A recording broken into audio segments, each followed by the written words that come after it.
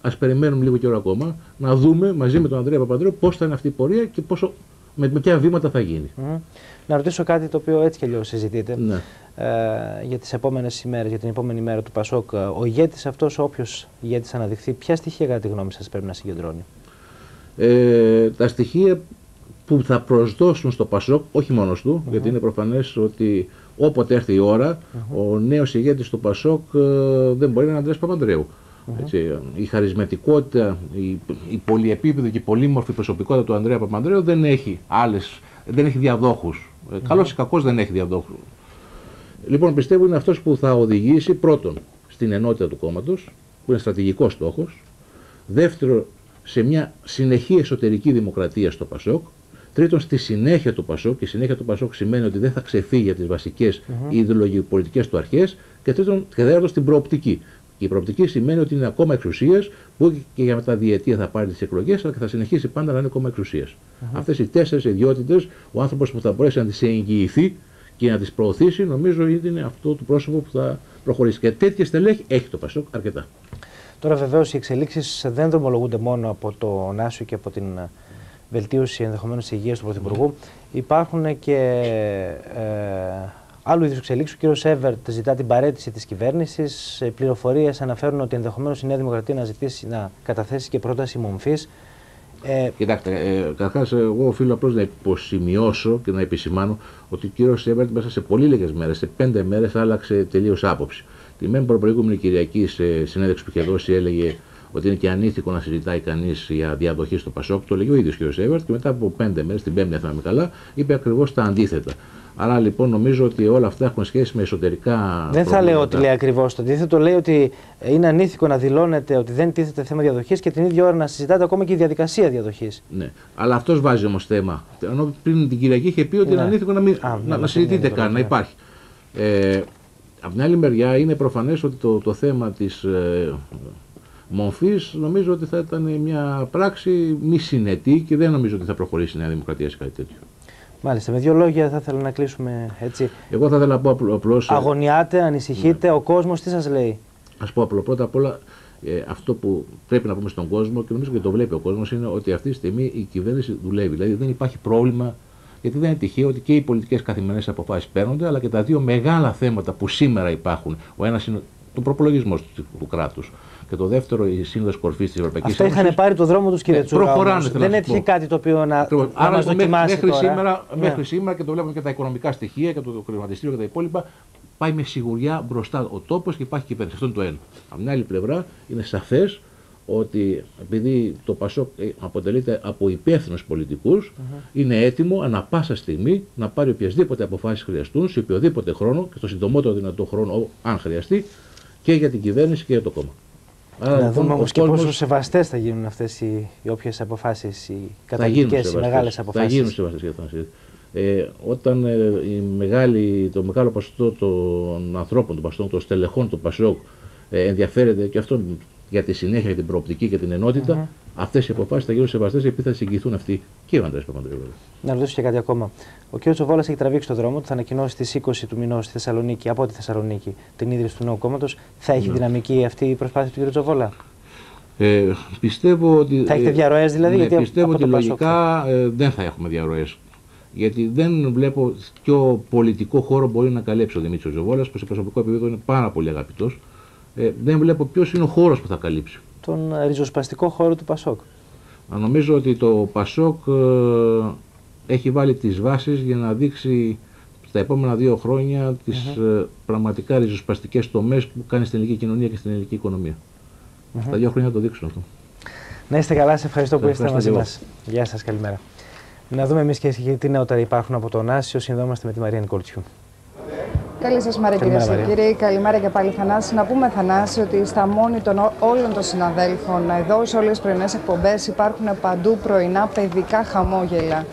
Ε, να πούμε όμως ότι να μην τα θυμόμαστε μόνο αυτή τη μέρα, ας δημιουργήσουμε όλες τις προποθέσει αυτά τα χαμόγελα να είναι πάντα στα πρόσωπα των παιδιών.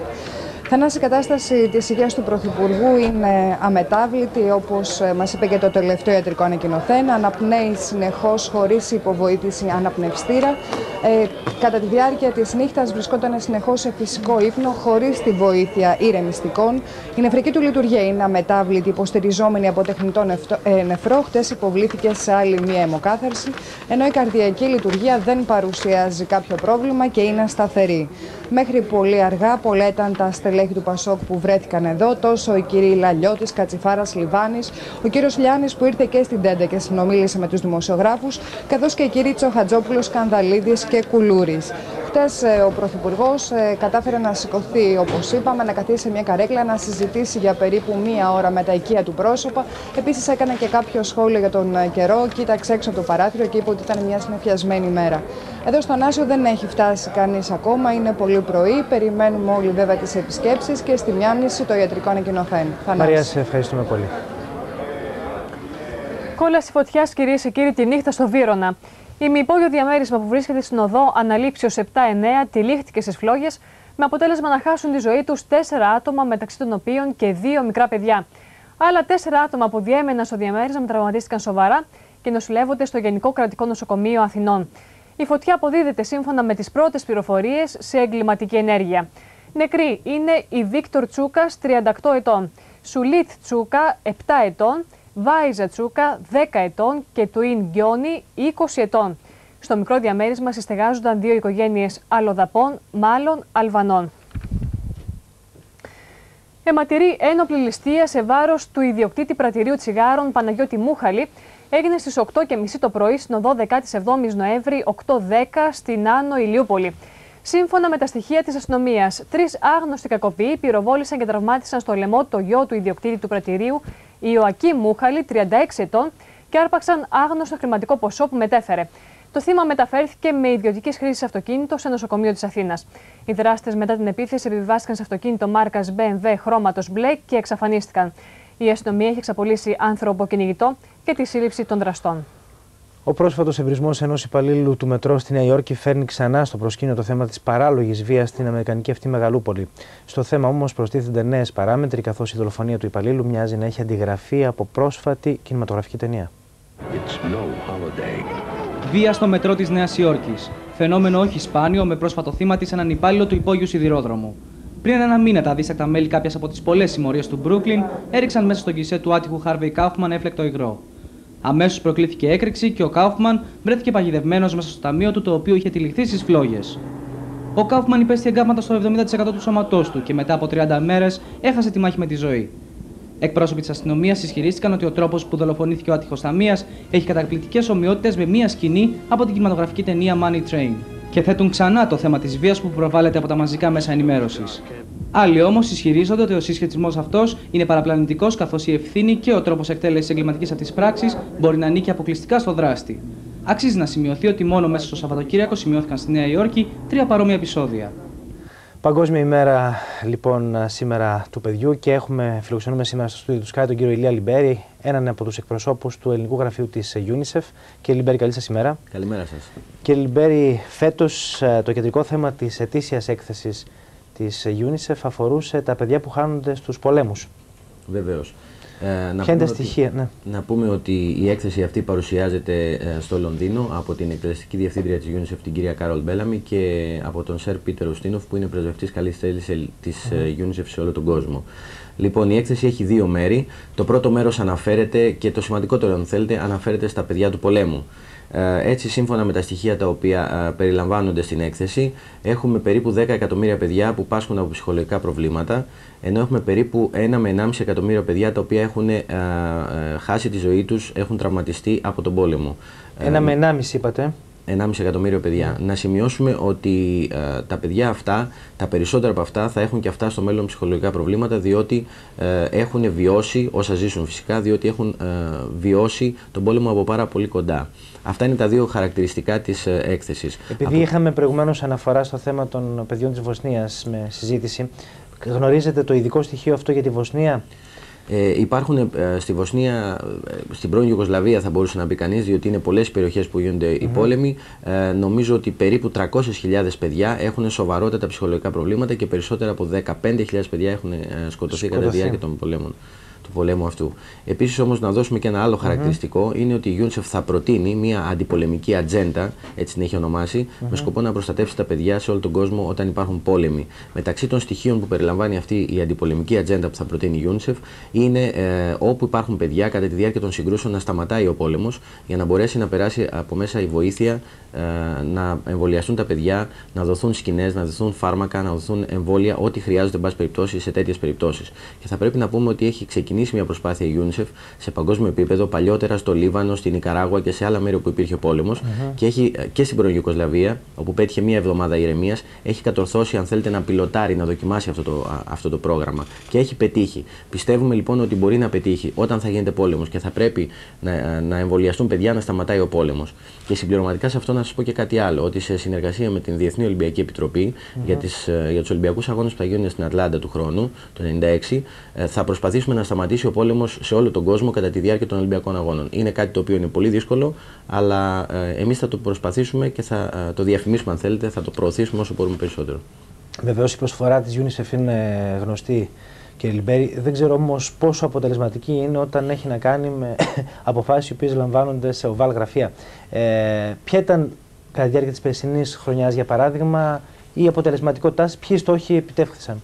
Λοιπόν, να πούμε καταρχήν ότι ε, η UNICEF έχει γραφεία σε περισσότερες από. και όταν λέμε γραφεία, γραφεία τα οποία κάνουν πρόγραμμα, όχι γραφεία ΟΒΑΛ όπως ε, προαναφέραμε.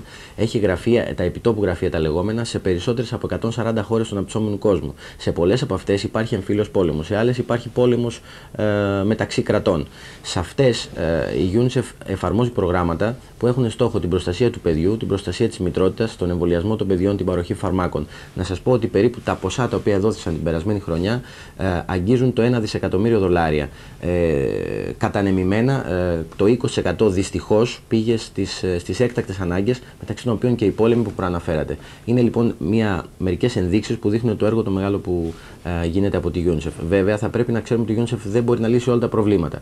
Πρώτον, χρειάζεται συνεργασία και με άλλους διεθνείς οργανισμούς, αλλά και με μη κυβερνητικές οργανώσεις, διότι αυτές τι περισσότερες φορές στις τοπικές κοινωνίες έχουν πολύ μεγάλη, μεγαλύτερη ισχύ, αν θέλετε, και ε, ε, επιρροή από εμάς. Ένα δεύτερο ε, που πετυχαίνει η UNICEF και που την περασμένη χρονιά, αν θέλετε, ε, ολοκληρώνεται, ολοκληρώθηκε, ε, είναι ότι σχεδόν όλα τα κράτη του κόσμου πλέον έχουν επικυρώσει τη Σύμβαση για τα Δικαιώματα του Παιδιού. Αυτό και σε, πιστεύουμε ότι του χρόνου θα είναι η πρώτη σύμβαση σε παγκόσμιο επίπεδο, η οποία θα ε, επικυρωθεί από όλα τα κράτη του κόσμου. Θα έχει παγκόσμια αποδοχή.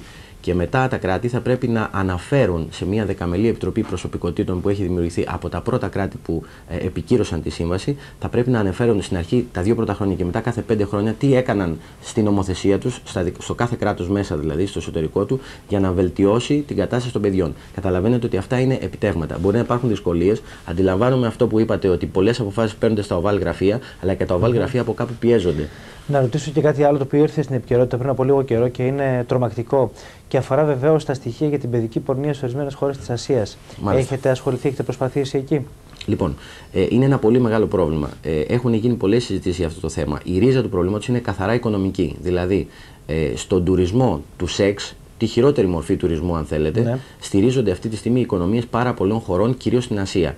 Για να σταματήσει λοιπόν αυτό το πράγμα, πέρα από την όποια ενημέρωση και την όποια πίεση, θα πρέπει να πιστούν οι κυβερνήσεις των χωρών αυτών ότι μακροπρόθεσμα αυτό είναι εις βάρος τους. Θα πρέπει να πιστούν ότι υπάρχουν εναλλακτικοί τρόποι, εναλλακτικές λύσεις για να κερδίσουν κάποιο εισόδημα. Ένα αυτό. Δεύτερον, θα πρέπει να ασχηροποιηθεί η νομοθεσία ε, σε εθνικό επίπεδο αλλά και σε διεθνές επίπεδο. Αυτό η Σύμβαση των Δικαιωμάτων του Παιδιού που υιοθετήθηκε πρόσφατα ε, μπορεί ίσως να το πετύχει λίγο-λίγο. Ε, ένα τρίτο στοιχείο είναι η εκπαίδευση. Δηλαδή, αν τα παιδιά και οι οικογένειές τους, αλλά και τα παιδιά αυτά, τα οποία είναι μικρά, δεν εκπαιδευτούν, δεν πρόκειται ποτέ να αποφύγουν το πεζοδρόμιο. Αυτοί οι τρεις παράγοντες, τα τρία σημεία, αν θέλετε, είναι εκεί που επικεντρώνεται η UNICEF. Να σας πω ακριβώς ότι ε, έχουμε ε, εκατομμύρια παιδιά τα οποία ε, εκδίδονται. Δεν είναι δυνατόν να καταμετρηθεί ο αριθμός τους. Πολλά από αυτά ζουν αποκλειστικά στο δρόμο, αλλά ναι. έχουν κάποια οικογένεια. Δεν είναι δυνατόν να, να καταμετρηθούν. Όμως εκείνο που μπορεί να γίνει είναι μέσα από την εκπαίδευση για όλους, που είναι ένας στόχος μέχρι το 2000, δηλαδή να ανέβει ε, το ποσοστό των παιδιών που παρακολουθούν και δεν σταματούν το σχολείο. Γιατί υπάρχει ένα άλλο πρόβλημα ότι πολλά παιδιά ξεκινούν το σχολείο Λύκειο, αλλά το σταματούν πολύ γρηγορότερα πριν τελειώσουν καν την έκτη δημοτικού.